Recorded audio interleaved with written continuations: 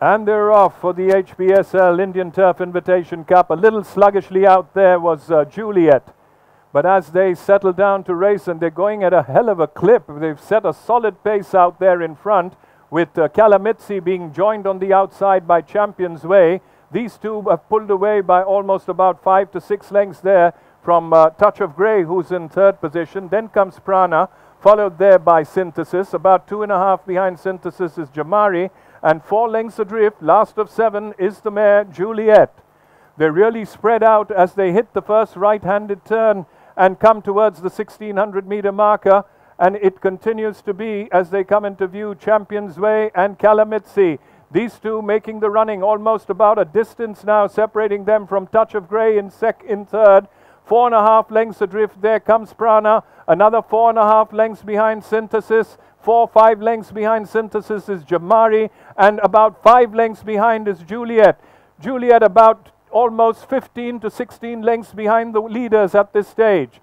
With about 1100 to run now in this HPSL Indian Turf Invitation Cup, and it continues to be Champions Way, keeping him company all the outside, all the time. Kalamitsi about four and a half away. Then comes a Touch of Grey. Two lengths away, then is Prana. He's about three lengths the good of Synthesis. Just behind Synthesis comes Jamari and Juliette getting a little closer now.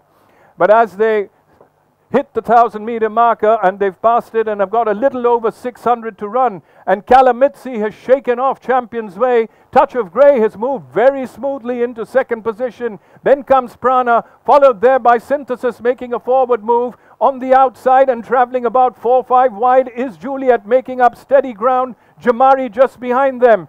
They straighten now and come into the home straight. And it's Touch of Grey being passed down the middle by Prana. And Juliette has come to essay her challenge on the stand side. It's Prana on the middle. On the outside comes Juliette. Jamari now being put into top gear on the stand side. But Juliette has gone clear. She's about two and a half, three lengths the good of Jamari and the rest. And what an amazing mare this Juliette might be. Her love story with the invitation continues as she wins the third invitation in a row. Juliette wins from Jamari, followed there by Touch of Grey, Synthesis, and Prana.